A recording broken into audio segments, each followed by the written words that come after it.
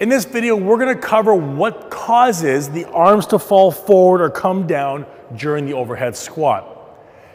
Whenever you see the arms falling forward, this is going to be a shoulder internal rotation issue. And we'll get Sarah to come here for one second. Now you might be thinking, why the heck is this a shoulder internal rotation?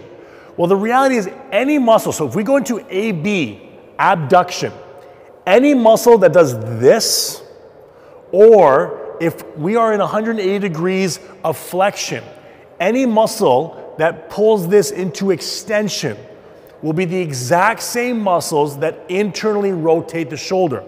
So if we find out the internal rotators, we will find out which issues are causing the arms to fall forward or the arms to come back like this during an overhead squat.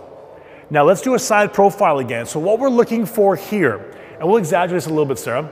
So as the client goes down to a squat, this part of the arm should always be hiding the ears. If you notice when the client comes down into their squat position, go ahead and squat. If those arms start to fall forward and we can see the ears even just a little bit, this would constitute a check mark on this assessment. We have to make sure, even if they have a lean this way, the arms have to stay back in this position. If they don't, thank you, sir. If they don't, we categorize this as a shoulder internal rotation issue. Now, the muscles necessary for internal rotation. So, step number one, if we know what the movement is, in this case, internal rotation, let's list the muscles that are responsible for shoulder uh, internal rotation. That's gonna be our pec major, our lats, our teres major, subscap, and our anterior delts. So people having that issue with the arms falling forward, this will be tightened, overactive, meaning that we need to release these muscles.